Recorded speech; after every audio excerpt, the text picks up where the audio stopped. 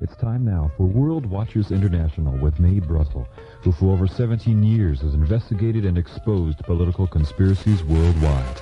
World Watchers International originates at KLRB, Carmel, California. Here's Mae. Good evening. This is Mae Brussell in Carmel, California. This is a first for the nine years that I've been on the air. There's a listener in New Jersey who wanted to hear the program back there, went back for graduation, a member of the family, and he listens to it usually at UC Santa Cruz.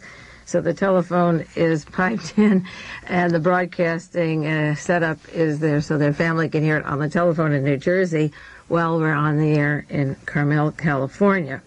Before we get into the question and the motives behind who shot JP the second, uh, irreverently, I refer to him as JP the second. And those of you who are not familiar with the broadcast and nine years of broadcasting, I must say that I strip most public figures down to the occasions of who they meet, where they profit, how they came to power, how they hold the power, who they know, and uh, what are they doing with their lives. I'm not impressed by the oath of office of President of the United States, whether it's Richard Nixon or Lyndon Johnson, or certainly Ronald Reagan, and heads of states and religious leaders, uh, the same goes for them. If they behave like religious leaders, I respect them.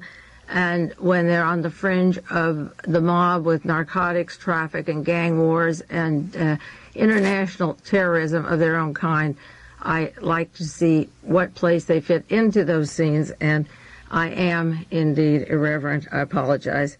Before we get on to the subject of the shooting of John Paul II, I do want to mention a subject which is very close to the research that I've done through the years, and that's the killing off of the culture, the so-called subculture. We refer to the third world, but in this country, it is the music leaders, the message in the music and the musicians that have died off, and I often uh, give a brief mention of the recent ones who have died.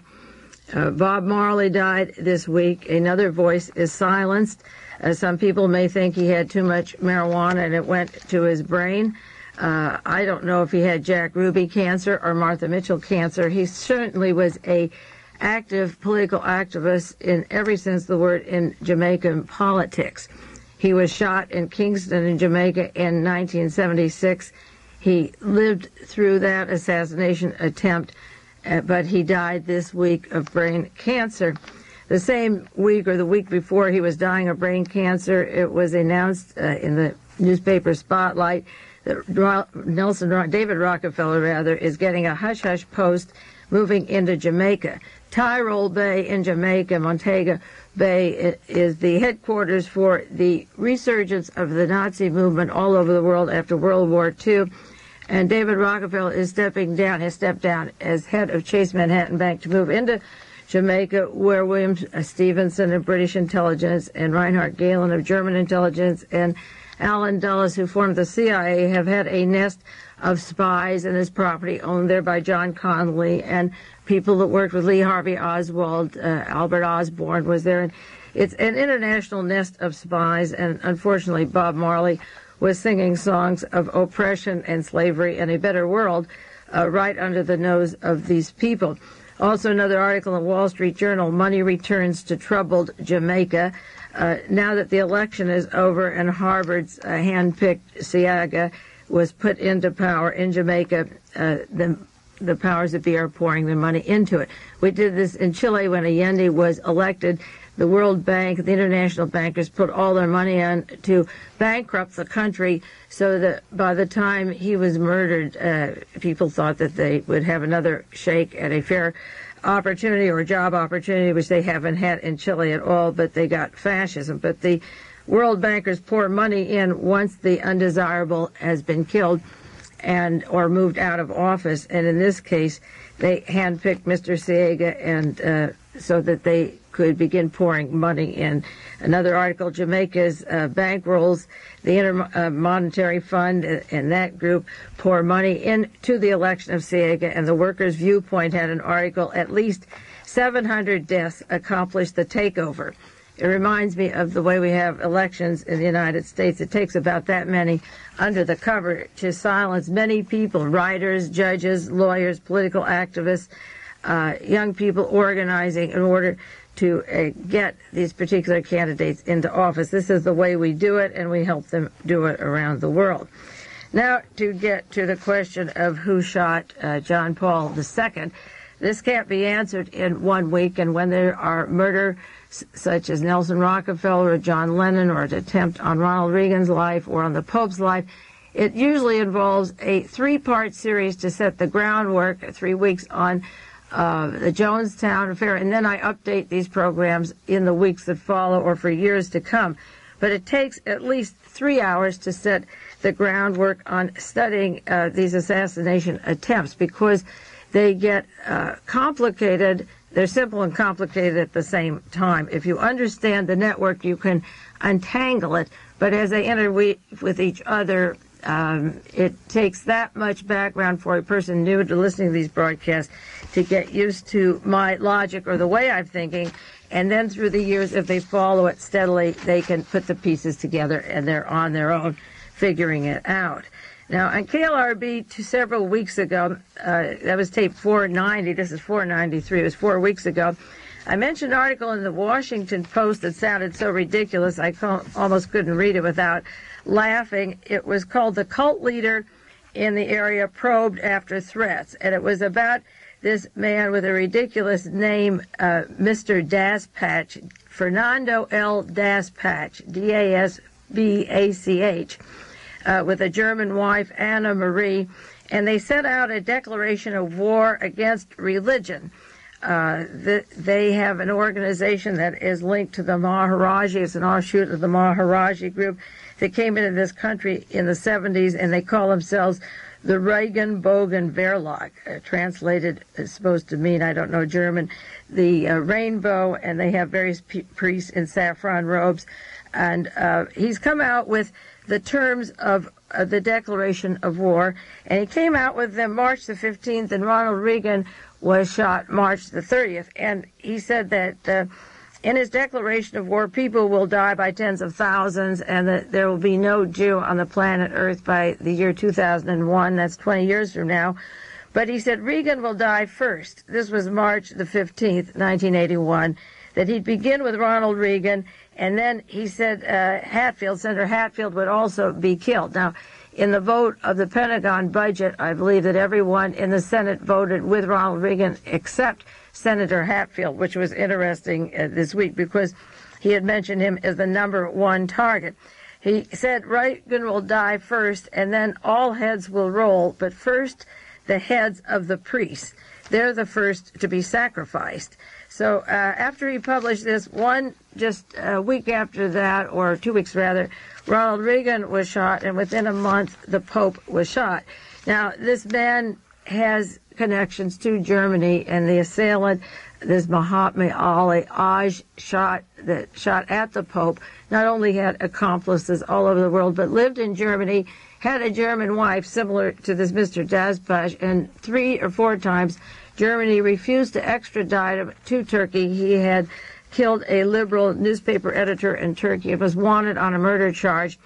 And they knew that he was involved with a very far, far right Nazi group that I'll get into, farther right than the conservatives in that government. And that military junta that came in in September of last year is a torturous, uh, terrible regime. It was written up in the New York Times. Amnesty International have been attacking them. This guy is really going for the racks and the torture instruments such as the Shah of Iran had as against making somebody sit in a chair five days to be interrogated. The right gets farther right, and he belonged to that group. And um, th- I don't know how seriously whether this Daspach is to laugh at or not, but because he mentioned these things and said the priest would be next after Reagan, and it went in that order, I thought I would bring it up again. Now, as far as killing the Pope or uh, shooting him, all the news media give uh, questions who would kill such a nice man at such a senseless shooting. First of all, none of these things are senseless. There's no such thing unless somebody's clinging a gun and it happens to go off and hit somebody, ricochet. These large assassinations are not senseless. And another point is that this Pope isn't universally loved. This is a PR of a lot of people pushing a man who looks good in a white flowing silk robe against a blue sky kissing babies. You can't be all bad if you're doing that and kissing the ground of the place where your airplane lands. But beyond that, when you shed the robes, I imagine stark naked, he's no different than Earl Warren. And Earl Warren was put into office by Murray Chotiner and organized crime and the syndicate from way back. Uh, I'm not saying that he's all bad, but he has a lot of enemies, and because he has a sweet smile and a sweet face, it doesn't mean that some people don't want to shoot him. And the fact is that a lot of people did, and that this Aji wasn't working alone for sure. Uh, he walked out of a prison. He had help when he walked out of prison in Turkey. He was dressed as a military officer. He left a note because the Pope was coming to Turkey and he threatened he would kill the Pope if he came. He didn't say when he would kill him. He left the letter there, and this is a New York Times article, uh, May the 14th, the day after the shooting. Um, he threatened if the Pope came to Turkey, he would kill him. And this is the quotation of what he had in the letter. Western imperialists are afraid of Turkey's unity of politics, military and economic power with brotherly Islamic countries. And they are sending Crusader Commander John Paul under the mask of a religious leader. Now, a lot of Catholics would take issue of whether or not he is a religious leader or has a mask of being a religious leader, but whatever you think, Mr. Aji had another opinion, and I'm telling you what he said when he was let out by the Turkish police and said he would be out to kill the Pope. He said if this ill-timed and meaningless visit of the Pope is not called off to Turkey, I will definitely shoot the Pope. That is the only reason I escaped from prison. Well, if that's the only reason he escaped, then it's the only reason they let him escape because one policeman was just arrested for letting him out of the jail, and he did, in fact, get a pot shot at the Pope. Uh, he's talking about economic uh, problems in Turkey, political, military, and economic. And when I get into the fourth uh, motive for trying to shoot the Pope, uh, which I think I have five motives, and I'll rule out several of them and go over them with you as much as time allows and continue in the next few weeks. Economic is a good reason, and I'm, I'll go into more depth than I have tonight on the narcotic war that has taken place in Turkey when Richard Nixon in 1971 paid the Turkish government between 30 million and 100 million dollars to cut off the opium supply. He said, I'm going to have a war on drugs, and as he paid the Turkish government to cut off opium, he allowed the Shah of Iran to increase his poppy fields 50% more than anything Turkey would have, and he brought in narcotics from Southeast Asia and tried to dry up the hashish, uh, heroin uh, deals coming in from Lebanon, Afghanistan, Turkey, and that Golden Arch in that area. Uh, Richard Nixon was put in by organized crime, as I say, Murray Chotiner and that gang. And in essence, uh, it was really the Sicilian mafia that profited after World War II or uh, sent the uh, uh, CIA and the OSS mingled with British intelligence, German intelligence, Lucky Luciano, and began to tighten up their control of the narcotic market. Now, the Corsican market was going through Marseille, and this may get a little complicated in who shot the Pope, but the Corsican uh, heroin came from Turkey. And in Richard Nixon's effort to bring in the White House plumbers and Lieutenant Conein and his own uh, gang, his own gang, he redirected the geography of the world for narcotic traffic, cutting off and drying up the Marseille, Corsican, Turkey connections while profiting at his end. Now, Richard Nixon was very close to Pope Paul VI, Montini, and I'll go into details later on that and the Watergate clique and the investment of the Vatican money into uh, the Watergate Hotel, the Pan Am building in Europe, the uh, Gulf and Western, the Paramount Studios in Hollywood. Vatican money was taken by Pope Paul VI, who was the godfather and mentor of John Paul II. John Paul the VI lived 33 days and was pushed out, and this mentor, the guy, the man who worked with him in Italy right after World War II with Montini when he was Secretary of the Vatican, this Pope had strong interlocking links, uh, directly, personally, and otherwise, to the Richard Nixon, the uh, Bebe Rebozo, the the um, Sicilian, the Meyer Lansky, the Santos Trafficante, the Southeast Asian, and then developing the Colombian and the uh, Bolivian and the Peru narcotics, and trying to strangle off the uh, arch of the narcotics coming in from the Middle East, from Turkey and Lebanon, and strangling them and stopping the flow of those narcotics. During the period when Jimmy Carter was president and the Shah of Iran was out, I did many broadcasts on the narcotic war between the Carter clique, which was the Middle Eastern group, by letting the Shah out, our heroin and narcotics poured in this country 30 and 40 percent more than when uh, before. And the Atlanta, Georgia, and this goes into the George Habash connections because the minute Ajah was arrested, he said, I work with George Habash. So in essence, I'm jumping the gun to possible motives, but I, I'm getting to the point because when he left Turkey, he accused the United States of interfering with the economic rights and the imperialists coming in and interfering with their traffic. And when he accused John Paul of hiding under the mask of a religious leader, it would be hard to uh, take all the accumulated evidence that's been in the news of the last two years of the of the Vatican right now to organized crime and wonder what in the heck the Vatican has to do with organized crime, narcotics, traffic, the Gambino family, and such. So when this Aji was uh, left the Turkish jail. He'd been arrested for killing a liberal newspaper man. He belongs to the Grey Wolves, a fanatic right-wing group, but they also want uh, America to lay their hands off of Turkey. Last week or the week before, Ronald Reagan said Turkey is vital to the United States. Well, maybe it is and maybe it isn't. We want to squeeze it into our NATO alliance. We need Turkey. But I don't know if Turkey needs us, the Western world, anymore. You see, there's several facts that you have to understand in order to comprehend these conspiracies thoroughly. And again, it means throwing off a lot of illusions and a lot of BS you get from the news commentators and uh, the establishment news and reading as much as you can and figuring some of this out for yourself. The first fact about these assassination attempts on these various people is that the answers are there. I knew when I started 17 years ago to find out who killed John Kennedy, the answers were there. The network was there. Yes, it took a lot of hours, a lot of reading, a lot of studying.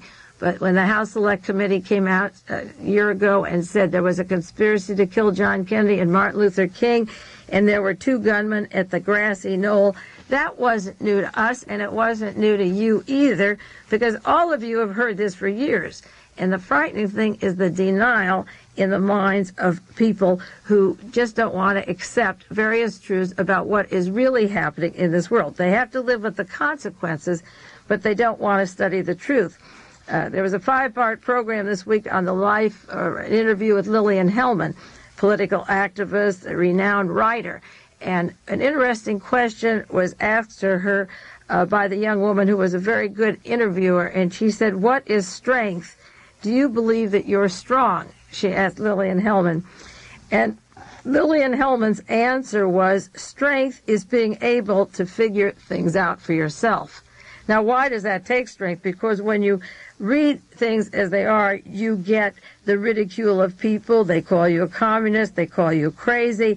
They ask your motives. They want to know where your money comes from, who your family is. They don't, they want to know everything, but what is your source of information and can I figure it out for myself? So the answer to who shot JP or who shot Ronald Reagan or any of these other people is there if you want to know it. And the second fact is that through the years, we have been told that the sleeping giant is the Soviet Union. I was brought up in a home that said, uh, Uncle Meyer always said, watch the big bear, watch the sleeping giant. And everybody watched Mount St. Helens and they watched Soviet Union night and day. The Russians have this, the Russians don't have that. We're ahead in space. They have no oil. The economy's collapsing. We watch everything they do except what we're doing. And the truth of the matter is that the sleeping giant in the world isn't the Soviet Union at all. It's the Muslim empire going from North Africa to the Philippines. They control two things. They have access to two things that absolutely make the world go around beyond anything else. One is oil and the other narcotics. If you have opium and heroin and poppies and the things that you can make from those and the hashish, if you have those two, you also can control the world as much as the United States or Great Britain. Great Britain used the opium to control all of China and Southeast Asia for years and the French also. But once the Arabs realize in the Muslim world that it's theirs for their profit and you can take your hands off of it, they can shoot any religious leader they want or any political person they want because they own the two things we need. And with the profits of those, they can buy the farms, the foods, the banks, and have solid gold. You've got paper money that can be called in in a few hours.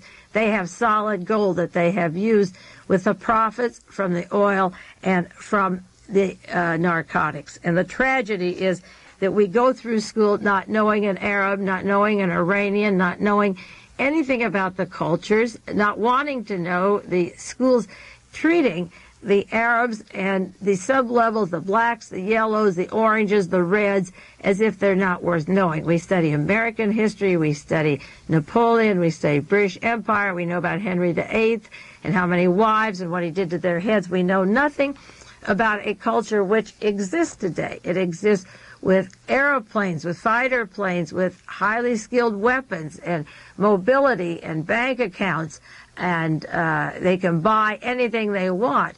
They are a fact of life that our children and grandchildren are going to live with. And ignoring them and believing that we have control over them is wrong, and we will have to pay our dues for being so ignorant. Now, when this uh, um, Ajah said that John Paul is, he said he's a crusader commander, John Paul under the mask of a religious leader. Uh, in the book, The Final Conclave, a, a section on how John Paul II came to power. It tells about his role in playing in productions. Uh, on page 49, it tells about his clandestine theatrical performance, his conspiratorial university classes, his underground group collaborations, his necessity for underground theater, the Rhapsody Theater, and a, working as an actor and a co-producer, and his passion for acting and his acting being fulfilled in his school dramatic societies, and again on page 47, his uh, theatrical group. Well, at the same time in 1940 that this uh, young Karol was in uh, uh, Nazi-occupied Poland in doing all of his underground theater work, Ronald Reagan was making his movies in 1942 and 1940 at Warner Brothers with Errol Flynn. Errol Flynn was working for the Gestapo, Gestapo agent, and uh, you can read The Untold Story by Charles Higham, and I've done many references on that. So you take an overlay of years where one actor in Hollywood becomes president of the United States from Warner Brothers and rules the world and uh, is a front man for forces much worse, if possible, that can remove him in seconds. He got the message, as did the Pope and uh, similar to the Godfather silencing. So you have one in a Rhapsody Theater, an actor in Poland under Nazi occupation in 1940, and you have an actor president of the United States who was making movies at the same time in Hollywood with Hitler's Gestapo. Hitler was in Poland and Hitler was in Hollywood, and both men thought they ruled the world. But under them and the people that selected those actors, there's blood and guts, and they're going for the jugular. So while they catapult these people in place, they better shape up or else. Uh, this Pope studied uh, the theater and then went to Solvay Chemical and worked at a rock quarry, which was Auschwitz, and he worked for IG Farben, the chemical company that was exterminating the Jews. And I've done programs on this. Now, the fact is, as I said before, that these PR jobs on people like Earl Warren and Nixon and Reagan or the Pope sell the product. But how long will it work before some of their background and their career and the way they came to power, the tangled web of the Vatican in the OSS, and then it became the CIA. The Vatican has been, a; it allowed itself to become a branch of U.S. intelligence. And with that comes exploitation of populations, divisions of countries and their resources. And when you take religious institutions, whether it's Israel, and I can do many hours on Israel, or the Mormon Church, or the Vatican, but it was the Pope who was shot, and we're talking about the Vatican. When you tangle yourself with intelligence operations that are killing political leaders wanted by the majority, when you tangle yourself with bloodbaths of native populations and you are linked to mob connections and mob related profits that were necessary to put you in office, then you have to take the bullet when the bullet flies. That's why Ronald Reagan was blessing his alleged assassin, nearby assassin, and that's why the Pope was blessing the man, his assailant. One of the first per- things they asked was uh, uh, about their assailants, and both of them were very anxious uh, to speak up and make sure that no hard feelings. This is, wasn't because that Reagan and Pope John Paul are so gracious and godlike. Ronald Reagan's first thing statement was, um, Hinckley comes from such a nice family.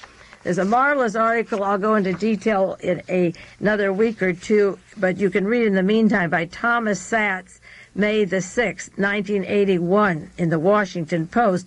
Reagan should let the jurors decide and the judges decide on Hinckley. How does he know he was a nice family? How does he know he has a problem? Maybe the solution was to shoot Reagan. How does he know anything about the family? Maybe they wanted George Bush as president.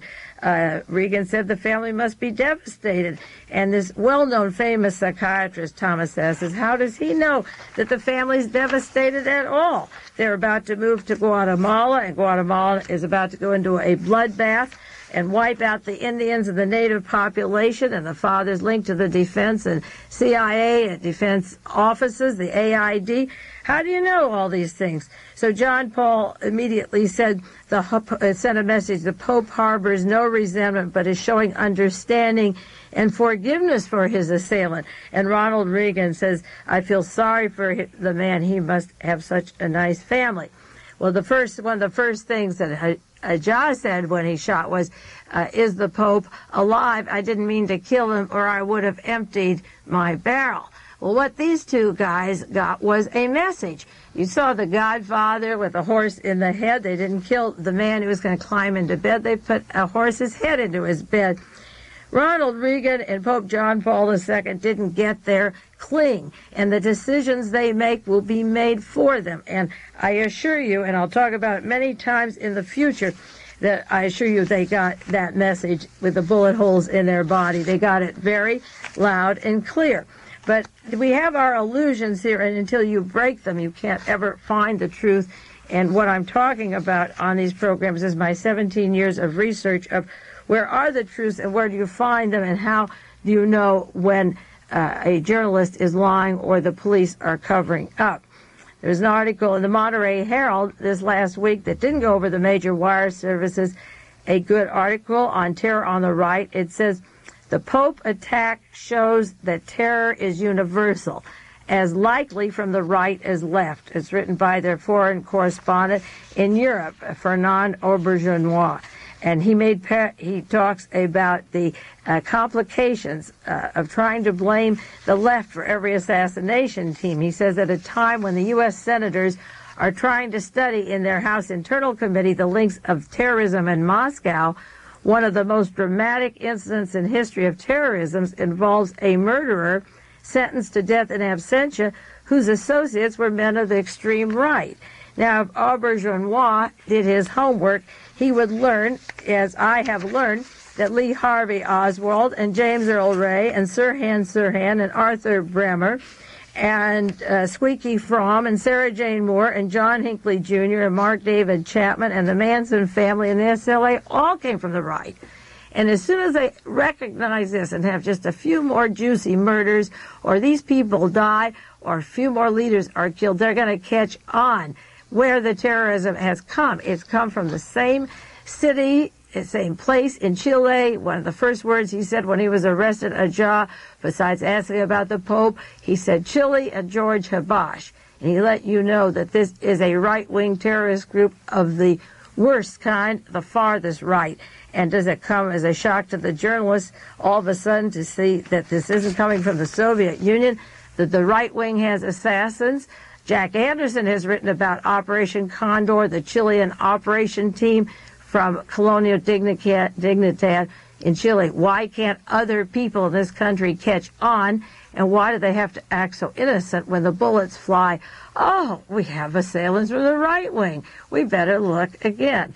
Well, we'll take a half a half minute break, one minute break, and I'll get back with you some more on some of the motives and ideas behind the shooting of John Paul II.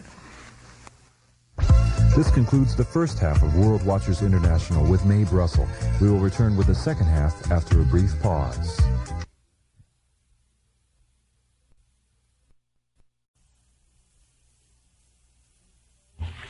Okay, we'll go back into some more on who shot John Paul II. Um, along with that article in the Monterey Herald coming from Europe, that we better look into the terror on the right. This author said, in quotes, there have been many warnings from police and political authorities in Europe of the danger likely to arise from over simplification of where the terror is coming from. He said the investigation of international terrorism is only in its early stages. The foreign correspondents looking into the matter can only accumulate facts. Conclusions are premature.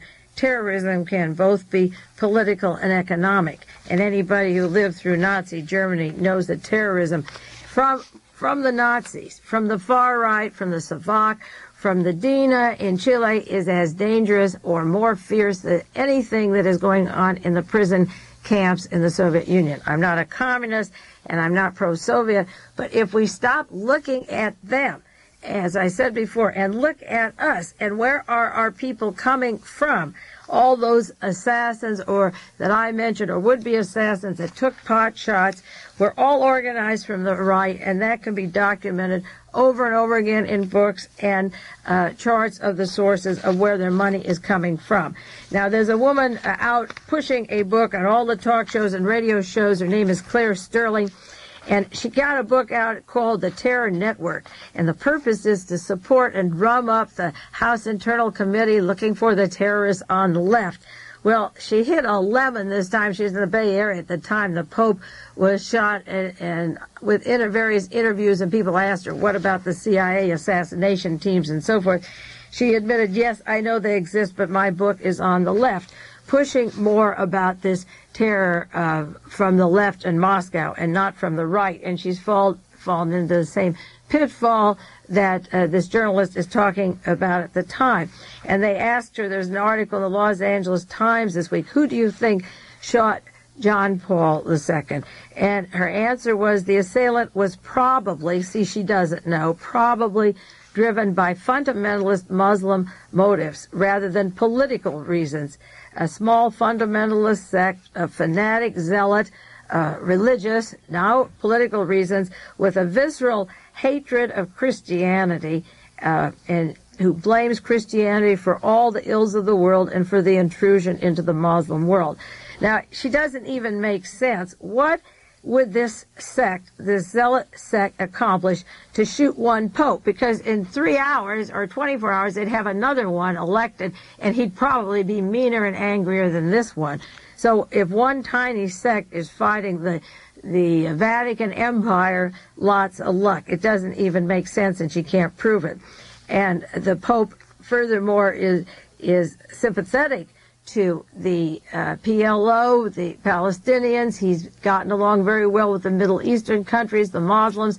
The Vatican recognizes 100 countries and not, has never recognized the state of Israel. So I doubt that this group, and I'll go into the religious motives, but I doubt, and it's impossible, that one tiny fundamentalist sect would accomplish anything at all. Why would they get a guy out of a Turkish jail in November of 79 and let him travel and collect him and protect him all over uh, the continent of Europe and Southeast Asia and, and the Middle East, rather, just for the sake of an individual sect. They wouldn't accomplish anything anyway. Uh, one example of a more political motive than, than that kind of stuff that she throws out as an expert on terrorism is an item that was in the UPI story, a, a copy sent to me from the Santa Barbara Press, April the 30th, 1981. There was a military junta in Spain, and they tried to take over. This again, if you make the comparison in Turkey, there is an extreme right group, just as say the King in Spain or Reagan in the United States, and a counterpart in Turkey, but a farther right, a Bush Haig group wants to take over the uh, White House in this country. A farther right group wants a tried a coup that Agca was involved in. His supporters and political supporters were involved in in Turkey. And in Spain, just last month, there was a, an attempt to overthrow the King and Queen of Spain, and there was an item in the newspaper. Spanish press reports that the Vatican and United States were contacted before the coup tried. The Spanish papers had information that the military conspirators, before their attempt to overthrow the, ter- the government, were in touch with the United States and the Vatican and it was an internal matter. According to Haig, he turned his back away on it, and that's why he had to run to Spain and patch up the pieces because he was going to let the coup come in power, which is consistent with the Haig that would follow behind if Reagan's out of the way. But evidently, the Vatican was not uh, in favor of um, this coup and was sitting on it, and it did not please them. Now, the this report of this coup was April the 30th, 1981, in the Santa Barbara papers.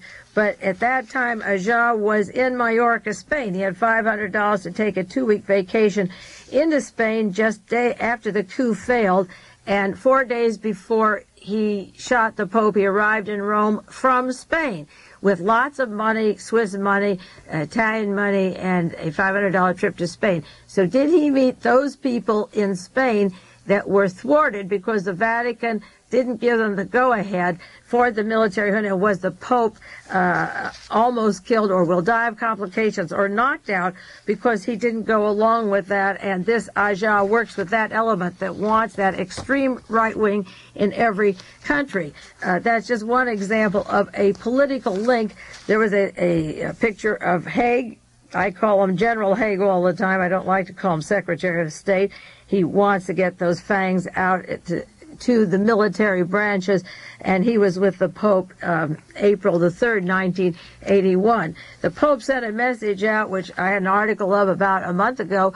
Uh, there's some personal message delivered by hand because he said, My lines are tapped, I can't talk on the telephone, and I'm bugged. He realizes, like the others, that he's a captive in the White House. They've been bugged since World War II. The OSS and CIA have kept a tight lid on everything that goes in and out of the Vatican. But there was General Haig uh, at the Vatican, April the third, uh, May the third, one day before Agca arrived in Rome. Uh, Haig was with the Pope, and very often when these dignitaries arrive, something happens following, and it seems maybe the dignitaries don't go away with the plan. I remember when Henry Kissinger went to Saudi Arabia to see King Faisal and wanted to keep uh, raise the oil prices. The Shah of Iran wanted to raise the oil prices, and Faisal didn't want to. Kissinger visited him exactly like Haig visiting the Pope here, and then a couple of days later, King Faisal, I think it was 24 hours later, was dead. A nephew uh, was charged and was decapitated no trial of any kind. Followed Kissinger's visit to Faisal, and as soon as Faisal was dead, the oil prices went up, and the Shah of Iran had his way, and the profits went into Chase Manhattan Bank.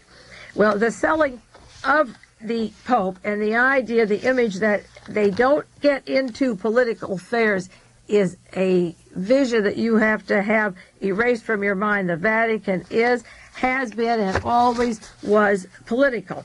Now, there was a first in terms of political assassinations that I've never seen in the American news media, but somehow or other, they seem just a little more intelligent over in Europe, or they're going to be forced.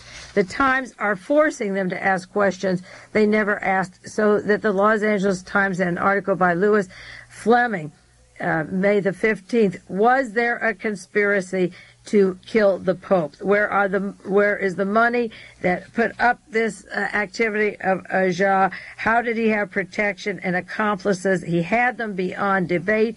It is certain and they're looking into his travels. And they, as I say, arrested the police in uh, Turkey, one of them for giving him a false passport. Well, that problem isn't solved because he had three aliases, and that was only one of them. But the European press is asking questions more than we ever had in the United States, and I never understood why the newspaper in America couldn't ask these questions. In Rome, they're saying, did he have connections with international terrorist group, and they're not afraid of the right or left? What was the source of his money? Why did he make a quick trip to Palermo, Sicily in December? Why uh, the two week vacation from Milan to Mallorca, Spain, four days before the Pope was shot? Uh, those are some of the questions they're asking. Uh, who trained him to shoot was in the Italian press. Who helped him escape from Turkey? Who paid for his wandering throughout Europe? They want to know who paid for wandering. We have the wandering as the motive. They're wanderers, Sirhan and John Hinckley, the loner, the wanderer. They just Arthur Bremer, who shot at George Wallace. Uh, we think that wandering is a cause or a sickness. In Europe, they think that somebody paid for the wandering, and I don't know how they get so smart and why we're so dumb.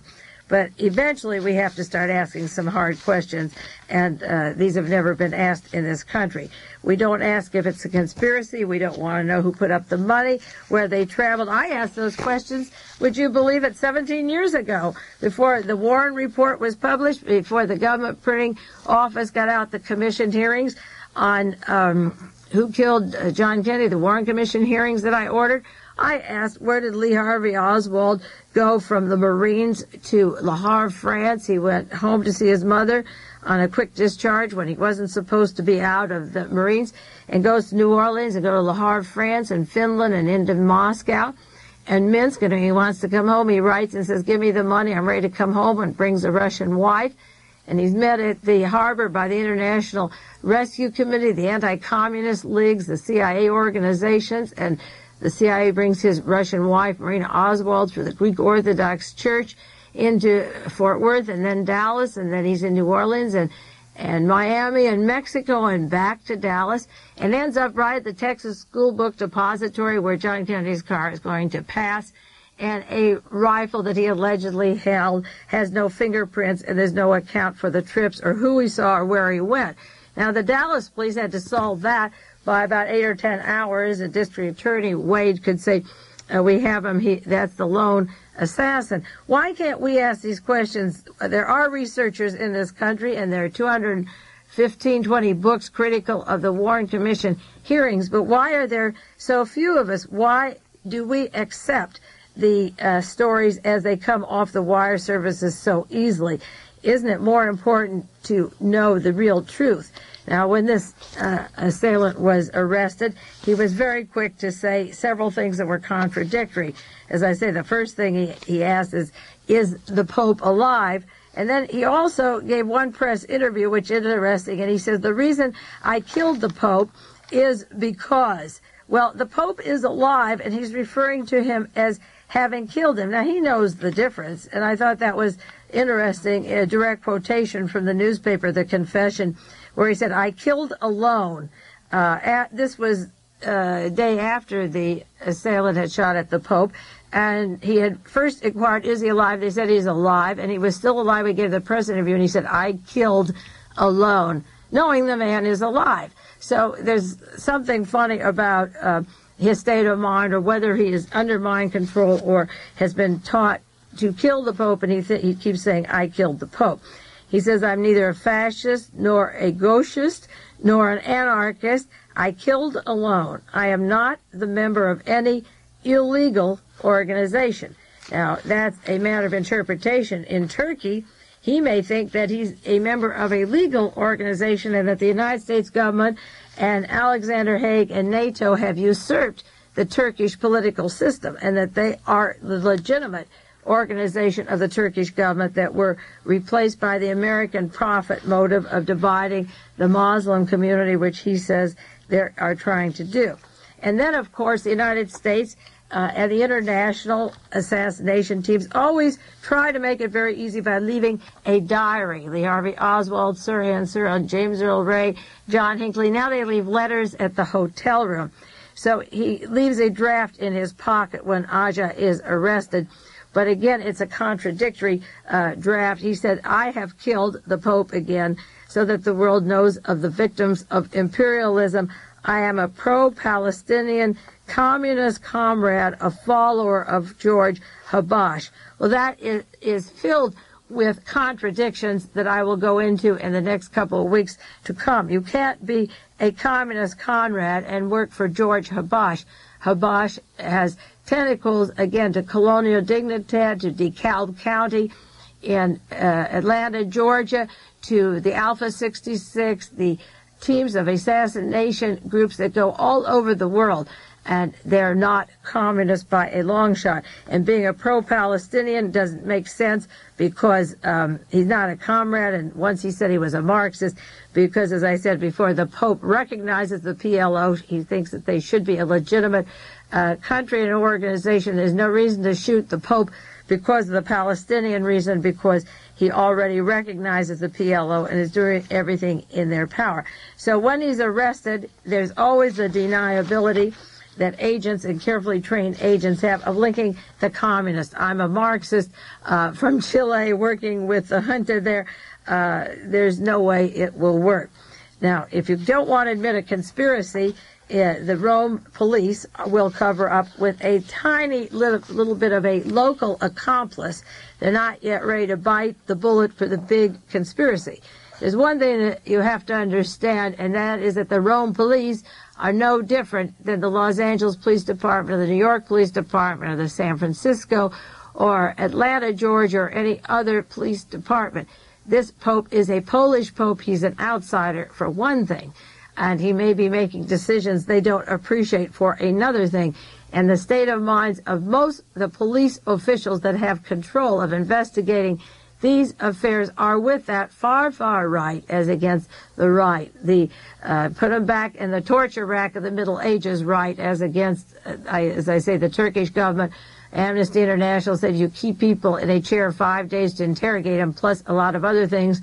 And they answered back last week's five days in a chair is not unusual. Of course, with beatings and clobbers on the head and twisted bones and whatever they're doing, uh, NATO's having trouble recognizing Turkey as it is. And there's something more right than that, that no, NATO or the United Nations or hardly anybody could stomach. So there is uh, a difference that you have to make between the conservative right and the far, far right. Reagan defined it two nights before he was shot, the gridiron dinner, when he said the right wing doesn't know what the far right is doing. Well, he found out two days later in front of the Hinckley uh, bullet that hit him at that time.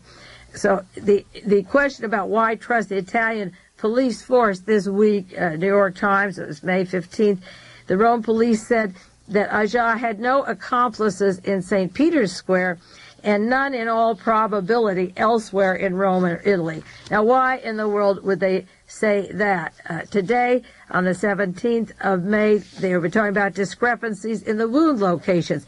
They're trying to fit the amount of wounds into their fi- conclusions about that one man, as happened in all the other conspiracies. Today they said the Pope may have been hit by two bullets instead of three. I don't see how four days later they can't figure out how many holes was in that body. I mean, forget it's a pope. How can they not figure out how many po- uh, bullet holes got into him?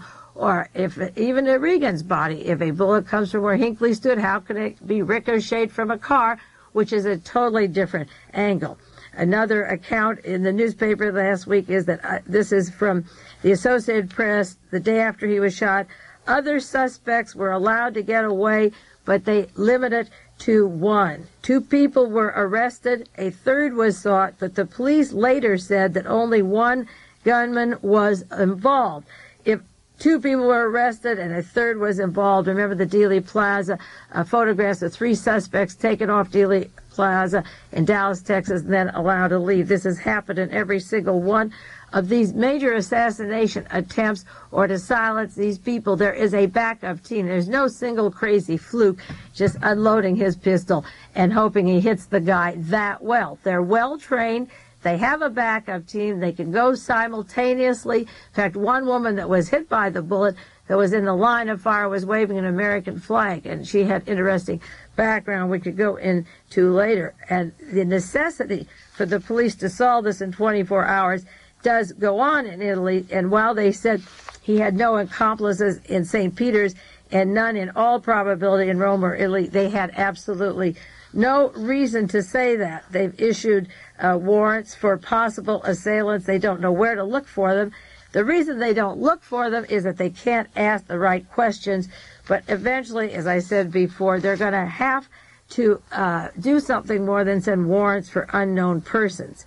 Um, if it was a single terrorist, it would be easy, they announced in Italy. The Rome prosecutor says if it was a single one, that would be easy. Of course, it would be easy. He said, I don't think this will be a quick trial. This will be a long investigation. Well, you haven't seen uh, Mark David Chapman tried for shooting John Lennon. You haven't seen John Hinckley's face. They said that trial won't begin till the end of the year until they put some hand-picked judges, and they may use a mental defense and he won't go to prison at all. They issued warrants for unknown persons. In Italy, said they're not convinced it was an international conspiracy. Well, Agent, as I say, one of the first words he said, a code word, was George Habash. He said Chile, which have links to the Chilean junta with their assassination teams that go all over the world. He lived in West Germany. Uh, he had a German wife. They tried to extradite him. Germans protected him, wouldn't send him back to Turkey. Visits to Spain, three times in Rome, down in Palermo, in Sicily, and in Milan. How can this not, when you take the Chilean, German, uh, and with their links also uh, to all the major countries, Zurich, Switzerland, and uh, London, this ball of wax, how can it not be an international conspiracy? There came a time in Watergate when John Ehrlichman said you can't put the toothpaste back in the tube. And there's going to come a time after 17 years of political assassination where you're going to see the uh, pieces fall into place and it will look simple to you then because you will have heard uh, various researchers, Sherman Skolnick or myself, or other people who've done work writing newspaper articles talking about uh, these assassins and where they come from. Later, it'll fall into place and you'll say, oh, yes, I've heard that before. But in admitting the mobility of these assassins, where they meet, where they bank, where they get their aliases, their passports, uh, a lot of work has to go back to point one, the political assassination of uh, John Kennedy. He lost the election to Richard Nixon, who was a mob figure. And uh, the next few weeks, I'll go into the mob connections of Nixon and Reagan and Sinatra and the organized crime to directly to the Vatican as motives for the necessity to shoot John Paul at this time. But uh, right now, I'll go into various uh, points that build up to this. These people have mobility and finances. Pierre Salinger was on ABC News saying what makes European thing, uh, people, figures, um, think that it's a larger conspiracy was they're asking the question, how did he get his money to travel? Who was behind him? Imagine ABC News having an American, Pierre Salinger, who was press secretary to John Kennedy, asking questions of who shot John Paul II when the press secretary of the dead president wouldn't ask them, and we pleaded with him to ask those questions in 1963 and 64. It takes Pierre Salinger living in Europe on American broadcasting to ask questions that should be all over the world every time these people are shooting and poking holes into political leaders, religious leaders, uh, civil rights people, as I say, judges, lawyers, writers, actors, uh, literally thousands of people that have been felled by the bullet, but we discussed the most prominent most of the time. Uh, he was asking questions about the Browning automatic. At first, they thought it came from Bulgaria. Again, they tried to make a Marxist Russian story. The gun came from behind the Soviet Union bloc, the Iron Curtain, Bulgarian, and he's a Marxist with Habash and Haddad. Uh, that's BS. They finally admitted the gun came from Belgium. Not that it matters much, but it matters a lot that they they couldn't wash off a Russian terrorist Marxist uh, poking holes into Pope John Paul II. The Russians must be sitting back absolutely laughing in delight. They have revealed stories about our assassinations. When Ronald Reagan was inaugurated for president, his first speech was about the Russian terrorists. Uh, the things they do, they're spreading assassination teams and terror all over the world. And the answer from the head of the Soviet Union and I had on KLRB was you better clean up your act. You killed John Kennedy, Robert Kennedy, Martin Luther King, and many, many others, and Torres down in Bolivia, and Lumumba, and, and uh, Patrice Lumumba, and Che Guevara. And the Soviet Union rattled off a list of who's who of who've been murdered by this network with, again, Washington, Houston, Texas, Germany, Chilean network that is not hard to trace and it isn't a coincidence in Spain that this uh, came from that exact ball of wax and has lived with these people after murdering a liberal newspaper man in Turkey. Would they deport him to be put to the firing squad for killing a liberal alternative press newsman in Turkey? No, they fund him and jump up and down with joy. He proved that he could do the job, and that's why he was out of jail. That's why he could travel, travel all over the world because he shot a liberal newspaper man. You get brownie points for that. You don't go back to jail. So here was Salinger asking questions uh, over our ABC that we can't ask. Uh, Mae Brussell can't ask him on ABC, and neither will Salinger on a program ask about our assassinations, but he's asking, was he alone? Was he a part of an international conspiracy? As an agent, how did he travel through Hungary, Bulgaria, Yugoslavia, Italy, Spain, Germany? And he had this uh, Belgian weapon. It wasn't a Russian weapon, and he's not a Marxist. And he told the people when he was arrested, I had no financial problems. You bet your bottom dollar he had no financial problems, and they were warning today that he may possibly escape. Uh, I wouldn't be surprised with the great leniency uh, the Pope has uh, put on him and the Reagan has done to his assailant. Hell, they're glad to be alive, and I, they may let these guys escape. He may, in fact, escape, but he said I had no uh, problems. And when he was arrested, he had a lot of Swiss and Italian banknotes, and he also had a, a two-week vacation in Spain. It cost about $500 to travel in Spain. They admitted that he committed no robberies and no burglaries. Now, that's a first in terms of assassination stories and um, uh, ABC News with Pierre Salinger. We always say that James Earl Ray robbed banks or they came through this money through some subterfuge. They're being so upfront uh, part of the way, and I think that's interesting. Now, because time is running out, I'm briefly going to go into just a few of the possible motives, and next week continue this and rule them out for you and explain what I think that some of these motives are uh, or are not. One, was it a, a, Christian Muslim motive? No, I don't believe it was, and I'll tell you why next week. I don't, even though the Muslims are fighting the Christians in Lebanon, I don't believe that at all. I don't think that this handful of Muslims, as I say, is going to wipe out the Vatican Empire, and they work very well with them. And there's no possible reason for uh, doing that at this time. Uh, was it a far right group that wanted to kill John Paul II? And I'll go into those tentacles. There's, as I say, the far far right, uh, such as the Spanish military junta, the Turkish group, and uh, some of the Americans, and so forth. Was it a religious group? There's the Carl McIntire gang, the born again Christians the Southwest, uh, Southern Tennessee, Texas, Dallas, Texas, the Hinckley gang are violently anti-Catholic, but I don't think they took these shots because they'd still end up with the Vatican anyway. And was it the narcotic intertangling web of the narcotic group? And as I weave these possible motives into it, I think it goes more into the far uh, right-wing narcotic traffic market of the group that are trying to control Turkey and the Middle East and the profits of the opium as against the heavy involvement of Richard Nixon and Ronald Reagan and Watergate people who are still in power, tangling the Vatican money to the point it, it even linked directly to that Nugan Bank in Australia I've been talking about, to the CIA in Southeast Asia, to heroin opium. There are too many stories of breaking, and I'll go into the motives with you next week on the far right motives, the anti Catholic motives, and the narcotics, because I think that uh, most possibly the reason for this assailant being used at this time has more with the economic narcotic traffic of that golden horn of the Middle East versus the Southeast Asian, South American gang that tried to monopolize the world narcotics for so long through Sicily, drawing up the Corsicans in Marseille. Those are a lot of names and words to throw at you, but I know you want some explanation of motives, so you'll have to follow it for the weeks to come.